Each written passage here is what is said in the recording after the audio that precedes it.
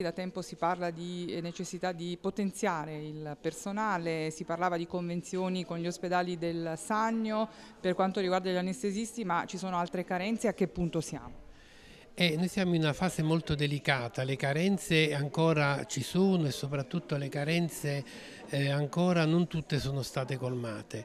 Eh, per, radio, per, i servizi di radiologia, ma per tutti e tre i presidi, Sant'Angelo eh, Ariano e il presidio di Solofra, è stato chiuso il concorso e quindi sette radiologi dovrebbero prendere servizio, o almeno sono stati selezionati. Adesso vedremo se poi quando verranno chiamati, eh, e questo è il problema, prenderanno servizio. E quindi la situazione della radiologia dovrebbe essere abbastanza eh, tranquilla. Per quanto riguarda le altre carenze, i concorsi sono in itinere e quindi si ricorre sempre a prestazioni aggiuntive chiediamo aiuto delle altre ASL, eh, per quanto riguarda il Criscuoli gli anestesisti sempre in grande carenza, eh, sono state avviate le convenzioni sia con il RUM di Benevento che con l'azienda sanitaria locale di Benevento.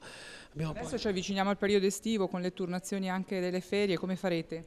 Eh, bah, non lo so come faremo, certo la situazione è grave, è critica, eh, situazioni a volte difficili da affrontare, eh, per cui credo che ci voglia un notevole impegno anche alla luce che la nostra età media, di, sia degli infermieri, dei medici, ma anche di personali autisti, e gli autisti sono tutti quanti, una, sono tutti quanti, quanti prossimi alla pensione, per cui in realtà magari entra un medico ma già se ne vanno due in pensione e ricominciamo da capo. Bisogna veramente rimettere mano agli organici, fare entrare dei giovani che oltre naturalmente a darci prospettive portino il loro entusiasmo e le nostre nuove conoscenze.